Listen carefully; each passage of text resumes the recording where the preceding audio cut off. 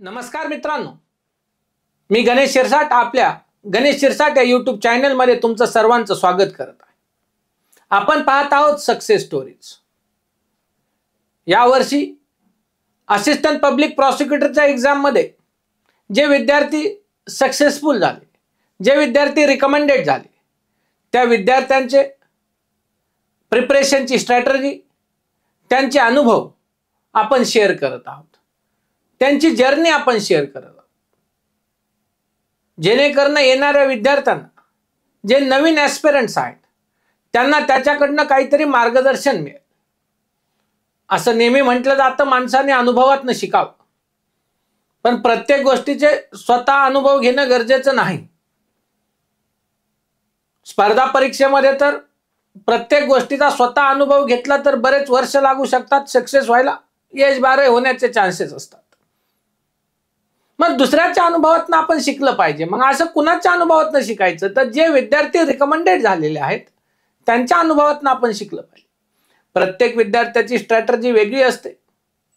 Strength वेगळ्या असतात weaknesses वेगळ्या असतात. पण कुणाची तरी स्ट्रॅटर्जी आपल्याशी मॅच होते आणि मग ते आपल्याला आपल्या जर्नीला मोटिवेट करत राहतात.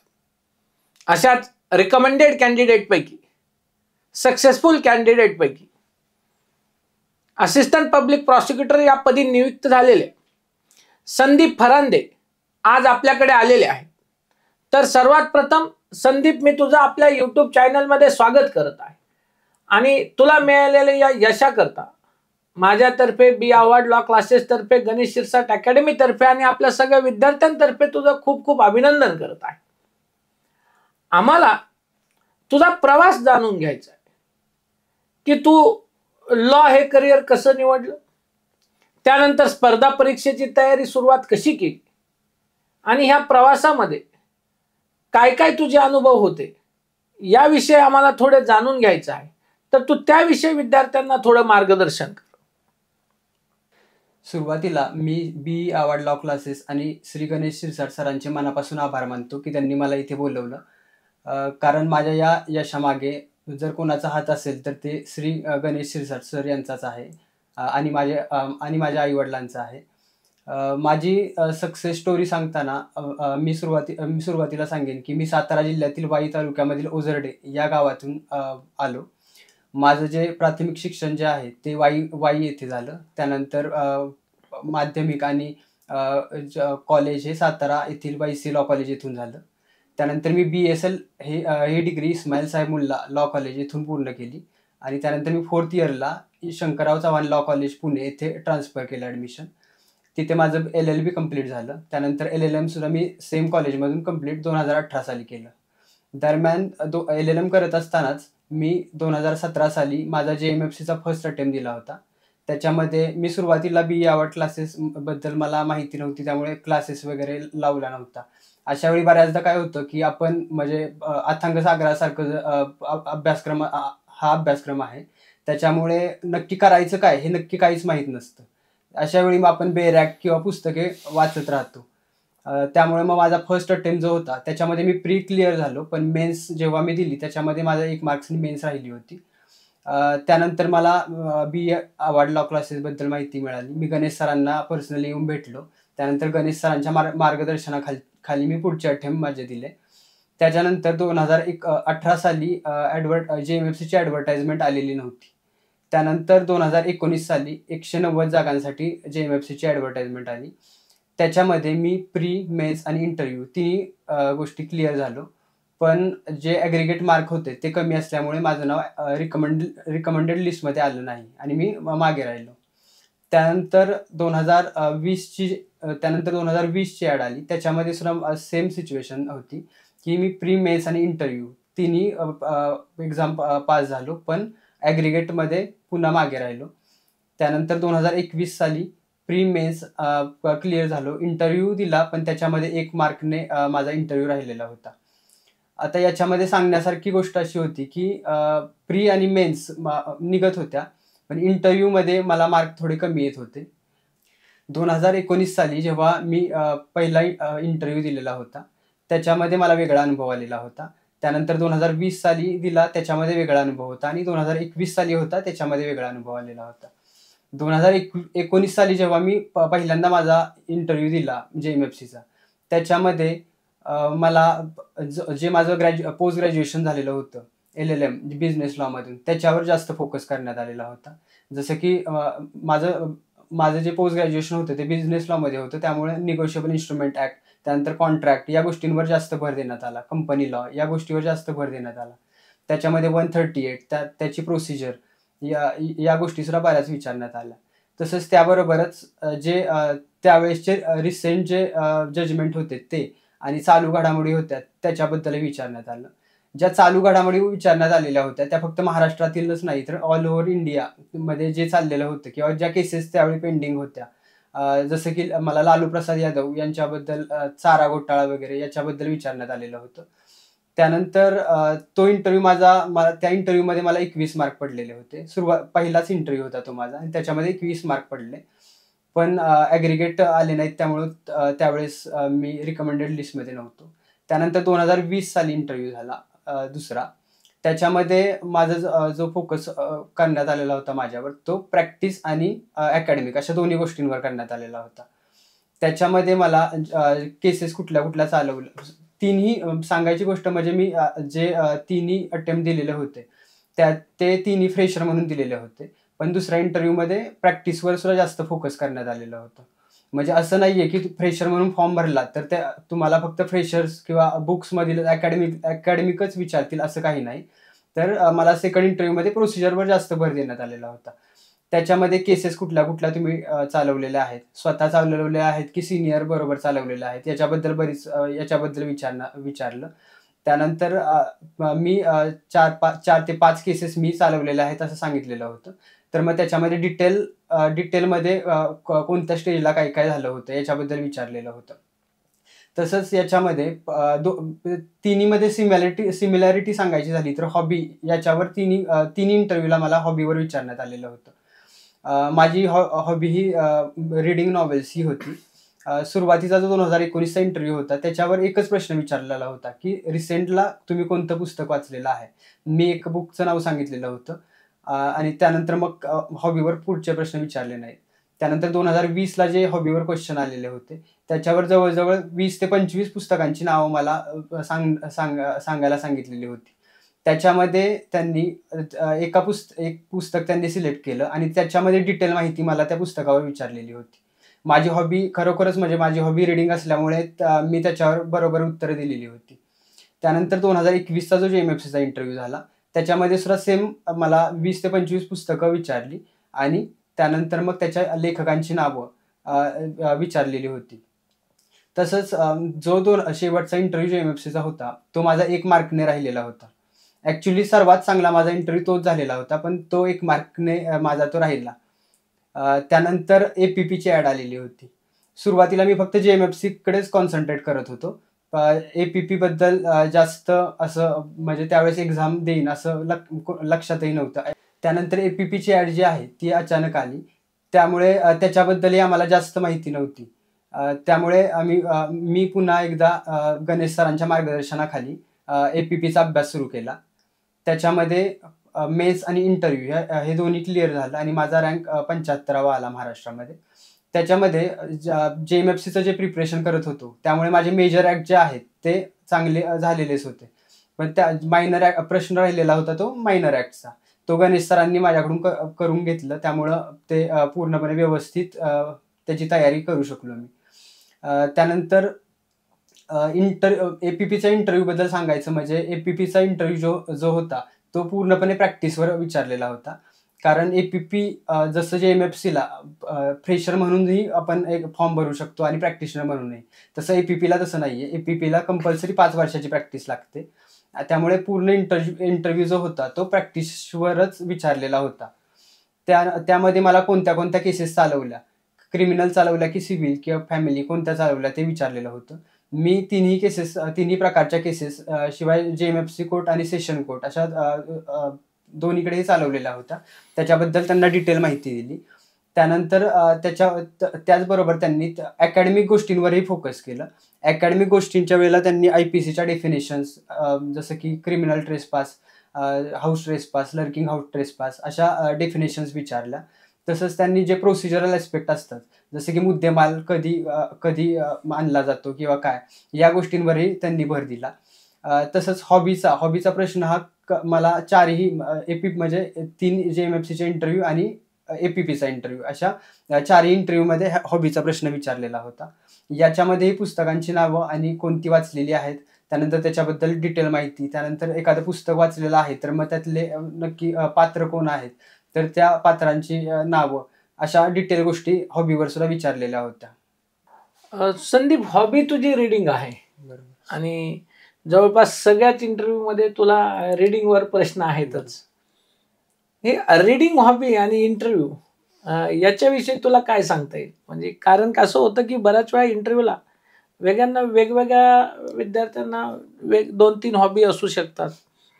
आणि तसं रिडिंग हॉबी सांगणं हे थोडं जरा रिस्कीच असतं कारण मग त्याचा खूप मोठा स्कोप असतो प्रश्न विचारायला.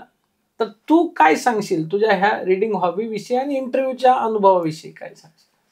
स्पेसिफिकली हॉबीविषयी बोलायचं म्हटलं तर प्रत्येकाने आपली जी जेन्युअन हॉबी असेल तीच टाकावी त्याच्यामध्ये किंवा सांगावी. कारण हॉबी हा असा सब्जेक्ट आहे त्यांच्यापुढं की ते काही विचारतील त्याच्यामध्ये कितीही डिटेलमध्ये जातील. किंवा बऱ्याचदा असंही केलं जातं की एखादे बाकीचे क्वेश्चन तुम्हाला अकॅडमिक क्वेश्चन किंवा प्रोसिजरल क्वेश्चन येत नसतील. तर मग कॅन्डिडेटला एक पुन्हा नॉर्मल सिच्युएशनला आणण्यासाठी हॉबीवर क्वेश्चन विचारले जातात. त्यामुळं अशा वेळी तो आपल्याला एक तारून येणारा क्वेश्चनही समजला जातो हॉबीचा त्यामुळे प्रत्येकाने आपली हॉबी जी आहे ती जी तुमची जेन्युअन हॉबी आहे तीच टाकावी. माझी हॉबी रिडिंग नॉवेल्स ही होती. आणि मला सुरुवातीपासूनच नॉवेल्स वाचण्याचा छंद आहे त्यामुळे मी ती हॉबी सांगितलेली होती. आता याच्यामध्ये मी भरपूर नॉवेल्स वाचलेल्याही होत्या आणि मला त्यातल्या लेखकांची किंवा त्यातल्या कॅरेक्टर्सची नावंही माहीत होती. त्यामुळे मी त्यांना सांगितली सुद्धा. पण आता बऱ्याचदा काय होतं की आपण जे नॉवेल वाचलेलं आहे ते जे इंटरव्ह्यू घेतात त्यांनीही वाचलेली त्यांनीही तीच नॉवेल वाचलेली असते. दोन हजार एकवीसचा जो इंटरव्ह्यू होता माझा त्याच्यामध्ये जे एम एफ सीचा त्याच्यामध्ये असंच झालं होतं की डायरी ऑफ अँड फ्रॅक नावाची जी नॉवेल आहे ती मी मी म्हणजे आवडती नॉवेल कोणती हे मी त्यांनी मला विचारलं होतं. त्याच्यानंतर मी हे उत्तर दिलं होतं की डायरी ऑफ अँड फ्रँक आता त्याच्यावेळी असं झालं होतं की जे इंटरव्ह्यू घेत होते मेंबर त्यांनीही तीच नॉवेल वाचलेली होती. आणि त्यांना त्याच्या त्यांनी कारण त्यांनी मला त्याच वेळेला सांगितलं की मी ही रिसेंटली तीच नॉवेल वाचलेली आहे. आणि त्यांनी मला त्याच्यावर डिटेल क्वेश्चन विचारायला सुरुवात केली. आणि प्रत्येक मग पात्राची नावं किंवा त्या स्ट म्हणजे कोणत्या ह्याच्यामध्ये त्या- कोणत्या सिच्युएशनमध्ये तिथे कोणत्या पा पात्राने कोणती ॲक्ट केलेली होती इतकं डिटेलमध्ये त्यांनी विचारायला सुरुवात केली. त्यामुळं माझं सांगणं असंच आहे हॉबीच्या बाबतीत की हॉबी तुम्ही टाकताय तर ती जेन्युअन टाका कोणतीही फेक टाकू नका. किंवा नसेल तुमची तर प्रिपरेशन करता करता हॉबी डेव्हलप करा. आणि त्याचं थरोली प्रिपरेशनही करा हॉबीसाठी नक्कीच. इंट आपण ज्या स्पर्धा परीक्षेचा फॉर्म भरतो जे एम एफ सी असेल ए पी पी असेल तर फॉर्ममध्ये हॉबी मेन्शन नसते कुठे फॉर्म भरत असताना. पण इंटरव्ह्यूला आपल्याला ते मात्र हॉबी विचारतात. आणि हॉबी आपलं एक हॉबी आपली जेन्युन जी आहे ती आपण ती सांगितली पाहिजे. एखाद्याचं म्हणणं असतं अशी मला काही ॲज सच हॉबीज नाही पण काहीतरी तो आपल्याला प्रिपरेशन करत असताना एक प्रिपेअर करणं गरजेची असते. तर तुम्ही प्रत्येकाने ती प्रिपेअर करून ठेवणं गरजेची आहे हॉबी आणि त्याच्यामुळे नक्कीच आपल्याला फायदा होतो.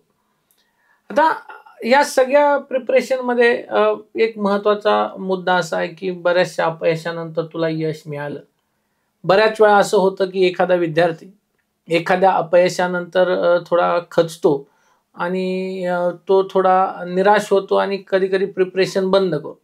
तसं पाहिलं तर दोन हजार सतराला तू मेन्स दिली त्याच्यात नाही झालं. त्यानंतर दोन हजार एकोणीस वीस एकवीस बॅक टू बॅक तू तीन इंटरव्ह्यू दिलेले आहेत. दोन इंटरव्ह्यूमध्ये पास झाला पण मेरिट आउट झाला. एका इंटरव्ह्यूमध्ये थोडं राहिलं. आणि तीन इंटरव्ह्यू नंतर ए पी पीचा तू चौथा इंटरव्ह्यू दिला होता. पण ह्या सगळ्या प्रोसेसमध्ये मी तुला जोपर्यंत पाहिलंय मी तुला कंटिन्यू पाहत आहे. कधी तू असं निराश नाही झाला अपयशाने खचला नाही. तर काही वेळा विद्यार्थी जे निराश होतात तू त्यांना काय सल्ला देशील? सर्वात महत् महत्त्वाचं याच्यामध्ये सांगायचं म्हणजे ही जर्नी म्हणजे कॉम्पिटेटिव्ह एक्झामची जर्नी बऱ्याचदा खूप मोठी होऊन जाते. का याच्या मागे म्हणजे तुमचा अभ्यास कमी पडतो असं बिलकुल नसतं. बऱ्याचदा नशिबाचाही पार्ट असेल त्याच्यामध्ये किंवा छोट्या छोट्या गोष्टी असतात ज्याच्याकडे आपण लक्ष देत नाही. फॉर एक्झाम्पल सांगायचं झालं तर दोन हजार एकोणीस साली मेन्सच्या एक आठ दिवस आधीच मला डेंग्यू झालेला होता. आणि खाण्यापिण्याकडेही लक्ष नव्हतं. त्यामुळे माझ्या मेन्सवरही त्याचा इफेक्ट झाला. म्हणजे अशा छोट्याशा गोष्टी असतात. त्याचा मोठा इफेक्ट आपल्या करिअरवर होऊन जातो आणि ती जर्नी खूपच मोठी होऊन जाते. त्यामुळे त्या छो त्या म्हणजे प्रिपरेशन करत असताना त्या छोट्या छोट्या गोष्टींकडेही तितकंच लक्ष देणं गरजेचं असतं. त्याच्यामध्ये सांगायची गोष्ट अशी की जेव्हा तुमचं जेव्हाही तुमची जर्नी लांबच लांब होऊन जाते त्याच्या वेळेला नैराश्य कसं येऊन द्यायचं नाही तर त्यालाही उपाय एक असतो की हॉबी आणि दुसरं म्हणजे आपला म्हणजे खास वकिलांसाठी सांगायचं म्हणजे तर त्या दरम्यान तुम्ही प्रॅक्टिस जॉईन करू शकता.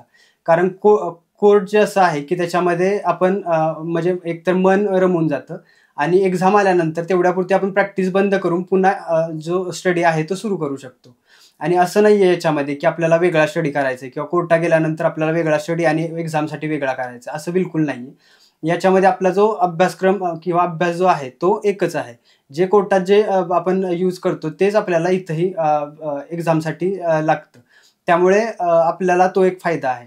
आणि याच्यामध्ये माझं एक असं सांगणं आहे की बऱ्याचदा प्लॅन ए किंवा प्लॅन बी असं आपण करून ठेवलेलं कधीही चांगलं याच्यामध्ये प्लॅन बी एकतर वकील आपण वकील असल्यामुळे प्लॅन बी ऑफकोर्स आपला हा प्रॅक्टिस किंवा वकिली हाच असला पाहिजे असं मला वाटतं. किंवा माझा तोच होता की ठीक आहे की बाबा जे एम एफ सी आपण जोपर्यंत आपण देऊ शकतो तोपर्यंत देऊ. आणि न- नाही- नसेल तर प्लॅन बी असं जर मनामध्ये असेल तर मग आपल्याला एक नैराश्यापासून थोडंसं दूर जायला मदत होते. की आपला प्लॅन बी सुद्धा आहे म्हणून. त्यामुळे आणि त्या प्लॅन बीसाठीच मी जेव्हा एक्झाम नसायच्या फॉर एक्झाम्पल दोन हजार अठराला नव्हते तर मग तशावेळी आपण प्रॅक्टिस जॉईन करू शकतो. प्रॅक्टिस तेवढ्या वेळ करू शकतो. किंवा मध्ये जेव्हा बऱ्याचदा काय होतं की प्री आणि मेन्समध्ये खूप मोठा गॅप पडून जातो. बऱ्याचदा टाइम टेबल पुढं मागं होऊन जातं एम पी एस सीचं अशा वेळी आपण एक दोन महिने पुन्हा कोर्टामध्ये जाऊन प्रॅक्टिस जॉईन करू शकतो. आणि टाइम टेबल आल्यानंतर किंवा डेट डिक्लेअर झाल्यानंतर रिझल्ट डिक्लेअर झाल्यानंतर पुन्हा स्टडीला लागू शकतो. अशा दोन्ही गोष्टी आपण सायमल्टेनियसली करू शकतो. त्याच्यामुळे नैराश्य नैराश्यही निघून जातं आणि पुन्हा फ्रेशपणे आपण स्टडीला सुरुवात करू शकतो. संदीप प्रिपरेशन करत असताना बऱ्याच वेळा एक स्पॅन जातो बराच काळ जातो आणि काही विद्यार्थी नैराश्यामध्ये जातात. तर तू आत्ताच त्याचं एक उपाय सांगितला की आपण नैराश्यामध्ये का जा कसं जाऊ नाही तर हॉबी आपल्याला कामी येते. आपण हॉबीमध्ये मन घालू शकतो आणि सगळ्यात महत्त्वाचं आपण कोर्ट प्रॅक्टिस पुन्हा जी थांबवलेली असते काही काळ प्रिपरेशनमुळे ती कंटिन्यू करू शकतो. आणि याच्या व्यतिरिक्त मला असं वाटतं की आपला प्रिपरेशन करत असणारा जो जो ग्रुप आहे तो आपल्याला याच्यातनं खूप मदत करतो. बऱ्याच वेळा मी तर असे विद्यार्थी पाहिले जे ग्रुपनी पुण्याला क्लासला आले आणि सगळा ग्रुपची group J M F C झाला. ह्यावेळेस ए पी पीच्या बॅचेस आपल्या ऑनलाईन होत्या पण तरी पण काही विद्यार्थी जे जे एम एफ सीचे विद्यार्थी होते आणि पुण्यात होते ते ऑनलाईन माझ्या रेकॉर्डिंग चालू असताना इथे क्लासमध्ये येऊन बसायचे पंधरा वीस विद्यार्थी. त्यांचा ग्रुप होता. त्याच्यातले एक दोन विद्यार्थी सोडले तर सगळे विद्यार्थी ए पी पी झाले. ग्रुपची group A P P J M F C झालेलं पाहिलं. तर तो खूप मॅटर करतो. आपल्याला कधी कधी नैराश्यातनं बाहेर काढण्याकरता पाठीमागे राहिलो तर पुढे घेण्याकरता एकामेकाला सपोर्ट करतात. तर मी पाहिलेलं आहे की तुझा एक ग्रुप होता छान प्रिपरेशन होतं. काही जण जे एम एफ सी झाले काही जण ए पी पी झाले. तर तू काय सांगशील याच्याविषयी थोडं? अ, आम दोन हजार सतरापासूनच आमचा पाच जणांचा ग्रुप होता. त्याच्यामध्ये स्नेहल आणि कल्याणी या दोघींचं दोन हजार एकोणीसला त्या दोघी जे एम एफ सी झाल्या. त्यानंतर सिद्धार्थचं जे होतं ते त्याच ॲडमध्ये एकशे एक्क्याण्णव नाव होतं तो वेटिंगला राहिलेला होता. आणि म्हणजे ॲक्च्युली चौघांचंही झालं होतं कारण अश्विनी जी होती तिचा राज्यात सातवा नंबर बरोबर. सातवा की आठवा नंबर आलेला होता. हो. आणि त्याच्यामध्ये राहिलेलं होतं माझं. मग अशा वेळी ग्रुपमध्ये सर्वांचं होतं आणि एकाचं राह एकाचं राहतं. अशा वेळी नैराश्य येण्याचे चान्सेस खूप असतात. मग अशा वेळी ग्रुप खूप मोठी गोष्ट याच्यामध्ये प्ले करतो. ती म्हणजे की त्यावेळी असं झालेलं होतं की सर्वांचं झालं आणि माझं का राहिलं? असं. कारण वेटिंगचं सिद्धार्थलाही म्हणजे त्यात चान्सेस होते की बऱ्यापैकी होण्याचे. त्यामुळे मग अ, माझ्यापुढे एकच पर्याय होता की आता म्हणजे खूप मन लावून आणि जास्त अभ्यास करणे हाच पर्याय माझ्यापुढे राहिलेला होता. कारण मागं फिरणं हे कुठलंच ऑप्शन नव्हतं त्याच्यामध्ये. आणि जेव्हा ग्रुप आपल्याबरोबर असतो कारण म्हणजे जरी हे सर्व जे एम एफ सी झालेले होते तरी आता म्हणजे ते इतके मोटिवेट करायचे मला की नाही म्हणजे आता जे नेक्स्ट ॲड येईल त्याच्यामध्ये कदाचित फर्स्ट नंबर माझाच असेल. किंवा काय अशा गोष्टी बऱ्याचदा. म्हणजे रेग्युलर फोन आणि ह्या बाकी आणि इवन जे एम एफ सी होऊन सुद्धा अभ्यासामध्येही तितकीच मदत त्यांनी केली. जसं की आता ते जे एम एफ सी झाल्यानंतर कोर्टामध्ये त्यांना जेव्हा प्रोसिजरल ॲस्पेक्ट जे वेगवेगळे कराय कळ- कळ- कळत होते ते त्यांनी मला पेपरमध्ये ॲड करायला सांगितले नेक्स्ट पेपरमध्ये त्या पद्धतीने मी नेक्स्ट पेपरमध्ये ते ते त्या त्या गोष्टी ॲड करत गेलो. त्यामुळे ग्रुप हा खूप महत्त्वाची भूमिका याच्यामध्ये निभावतो की तुम्हाला जर नैराश्य येत असेल तर तुमचा ग्रुपही तसा किंवा सर्वात महत्त्वाचं म्हणजे ग्रुपही तशाच लोकांचा पाहिजे की जे अभ्यासू असतील. कारण जर एखादा अभ्यासू असेल आणि दुसरा जर त्याच्यामध्ये दुर्लक्ष करत असेल तर मग पुन्हा त्याच्यामध्ये प्रॉब्लेम येऊ शकतो. त्यामुळे ग्रुप सिलेक्ट करताना तुम्ही खूप म्हणजे क- वेळ द्या त्या गोष्टीसाठी आणि तशाच लोकांचा ग्रुप तुम्ही सिलेक्ट करा. जे तुम्हाला पुढे नेतील. पण याच्यामध्ये असं झालेलं होतं की अश्विनीचा पुन्हा मराठा रिझर्वेशनमुळे ती तिची अपॉइंटमेंट जी आहे ती कॅन्सल झाली आणि सिद्धार्थ सुद्धा वेटिंग लिस्ट लॅब झाली. त्याच्यामुळे दोन आमच्या ग्रुपमधील दोन व्यक्ती पुढे गेल्या आणि आम्ही तिघे मागे राहिलो. त्यानंतर मग दोन हजार वीसची ॲड जी दोन हजार वीसची जी ॲड होती ती सिद्धार्थने आणि मी दिली आणि जी अश्विनी होते तिचं नंतर ते अपॉइंटमेंट कॅन्सल झाली. त्यामुळे तिने दिलेली नव्हती. त्यानंतर मग दोन हजार एकवीसचीही दिली आम्ही. पण त्याच्यामध्ये इंटरव्ह्यूमध्ये राहिलं. पण त्यानंतर ए पी पीची आली. त्याच्यामध्ये अश्विनीचं आणि माझं ए पी पी झालं आणि सिद्धार्थचं एक मार्क्सने त्याच्यामध्ये राहिलं. म्हणजे प्रत्येक वेळी प्रत्येकाची प्लेस ही चेंज होत गेली. की एका एक दोन हजार एकोणीसला असताना माझं राहिलं होतं. दोन हजार वीसला असताना म्हणजे प्रत्येकाची चेअर चेंज होत गेली. हाच पण याच्यामध्ये आम्ही काय केलं तर एकमेकांना सपोर्ट करत गेलो. अभ्यासामध्ये सुद्धा आणि मोटिवेट करण्यामध्ये मोटिवेट मोटिवेटही करत होतो एकमेकांना. त्यामुळे नैराश्यामध्ये असं कोणी गेलं नाही. नक्कीच. मी बऱ्याच वेळा पाहिले की ग्रुपची ग्रुप जे प्रिपरेशनला पुण्यामध्ये आले ग्रुपची group J M F C झाले किंवा ए पी पीमध्ये पण यावेळेस ऑनलाईन क्लासेस आपले होते. पण काही विद्यार्थी जे पुण्यामध्ये होते जे आपल्याकडे जे एम एफ सीचे प्रिपरेशन करत होते तर ते ऑनलाईन क्लासेसची ज्यावेळेस मी रेकॉर्डिंग करायचो ए पी पीची ते त्यावेळेस ते क्लासमध्येच येऊन बसायचे. तर त्यांचाही पंधरा सोळा लोकांचा ग्रुप होता. त्यातले एक दोन विद्यार्थी सोडले तर त्या ग्रुपमधले सगळे जे ए पी पी झाले. तर त्याचा नक्कीच फायदा होतो आपल्याला. त्यामुळे तेही एक महत्त्वाचा पार्ट असतो. आपला एक छोटासा ग्रुपही असला पाहिजे प्रिपरेशनमध्ये तो हे नक्कीच आपल्याला युजफुल असतो. संदीप तुझा तसं पाहिलं तर स्पर्धा परीक्षेचा अनुभव मोठा आहे. तीन चार जवळपास जे एम एफ सीच्या एक्झाम तू दिल्या. दोन हजार सतरा असेल दोन हजार एकोणीस वीस असेल. त्यानंतर एकवीस ची ॲड असेल. पहिल्यांदा तुझं प्रे क्लिअर नव्हतं झालं पण नंतर तू प्रिलियम्स मेन्स इंटरव्ह्यू क्लिअर होत गेलास. आणि इंटरव्ह्यूमध्ये दोन वेळा मेरिट आउट झालास एकदा इंटरव्ह्यूमध्ये राहिलं. तर या सगळ्या प्रिपरेशनमध्ये एक महत्त्वाचा असा मुद्दा येतो की तो म्हणजे रिटर्न एक्झामिनेशन. तर तुझ्या जे एम एफ सीच्या रिटर्नच्या अभ्यासाची जी मेथड होती ती कशी होती? आणि एपीपीचा अभ्यास करत असताना रिटर्नच्या अभ्यासाची तुझी मेथड कशी होती? आणि जे एम एफ सीचं प्रिपरेशन जो ते केलंय त्याचा तुला एपीपीच्या प्रिपरेशनमध्ये फायदा झाला का त्याचा? याच्याविषयी थोडं तू काही मार्गदर्शन करशील का? सर्वात पहिल्यांदा सांगायचं म्हणजे जे एम एफ सीचं प्रिपरेशन करत असताना जेव्हा मी सुरुवातीला दोन हजार सतरा साली जे एम एफ सीच्या प्रिपरेशनला सुरुवात केली त्यावेळी मला मेन्सबद्दलही इतका अंदाज नव्हता. कारण मी सुरुवातीला सांगितलं होतं की क्लासेस लावले नव्हते त्यामुळे मी म्हणजे जी पुस्तकं आणि जे पूर्ण बेरॅक्ट वाचत होतो त्यामुळे नक्की थांबायचं कुठं हेही कळत नव्हतं. त्यानंतर जेव्हा मी क्लासेस लावले आणि गणेश सरांनी मार्गदर्शन केलं त्याच्यानंतर माझ्या लक्षात आलं की थांबायचं कुठं आणि किती गोष्टी प्रीसाठी कोणत्या गोष्टी इम्पॉर्टंट आहेत मेन्ससाठी कोणत्या इम्पॉर्टंट आहेत आणि इंटरव्ह्यूसाठी करायला काय लागेल या गोष्टी मला गणेश सरांनी सांगितल्या. त्यानंतर मी माझ्यासाठी एक बाउंड्रीज फिक्स केला की आपल्याला एवढंच करायचं आहे त्याच्या पलीकडे करायचं नाही. प्रीसाठी मला एवढंच करावं लागेल मेन्ससाठी एवढंच करावं लागेल. कारण काही क्वेश्चन्स असे असतात जे फक्त प्रीमध्ये काही चॅप्टर्स असे आहेत जे ज्याच्यावर प्रीमध्ये फोकस केलं जातं. काही चॅप्टर्स असे आहेत की ज्याच्यामध्ये फक्त मेन्सवर फोकस केलं जातं. प्रीचा अभ्यास जेव्हा मी सुरू केला त्यावेळेस माझं मेन जे होतं ते सरांनी ज्या नोट्सबुक होत्या त्याच्यावर मी फोकस करत होतो. आणि त्याच्याचबरोबर जे बेरॅक्ट जे आहेत त्याच्यावर त्याच्यावरही फोकस करत होतो. बेरॅक्टचं रिडिंग करताना मी अशा पद्धतीने माझं शेड्यूल केलेलं होतं की तीन दिवसामध्ये माझे पूर्ण सगळ्या विषयांचे बेरॅक्ट्स कंप्लीट होतील वाचून. मी बेरॅक्टची जी विभागणी केलेली होती म्हणजे एक बेरॅक तीन दिवसामध्ये मी तीन एका बेरॅकचं डिवायडेशन तीन भागामध्ये केलेलं होतं.